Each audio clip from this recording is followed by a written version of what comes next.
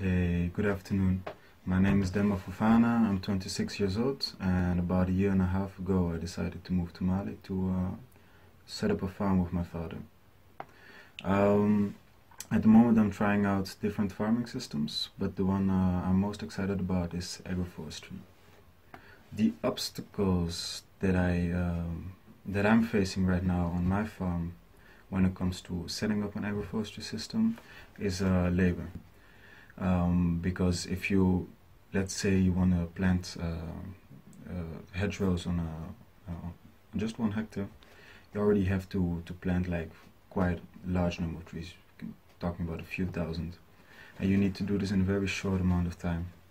Um, this is because you want to plant all your trees at the onset of the rainy season uh, so that they grow long enough so that afterwards they can survive during the dry season without you needing to water them. Um, and since, well, in the countryside everybody is basically working in their own field at the start of the rainy season, uh, it can be quite hard to find enough people to, well, plant, let's say, a few hundred trees um, every day.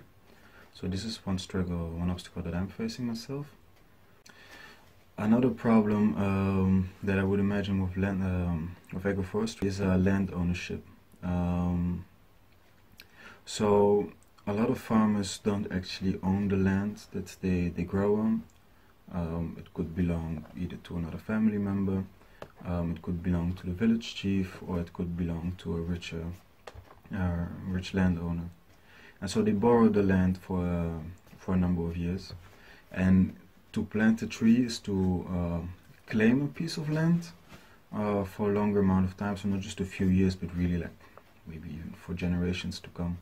So if somebody borrows, you, you, you borrow some land for somebody for just a, a few years and then you start planting trees on it, which means that basically you own the land now, this would be seen in a very bad way. So this, I think, um, in Mali would be a major constraint um, to, to implementing agroforestry.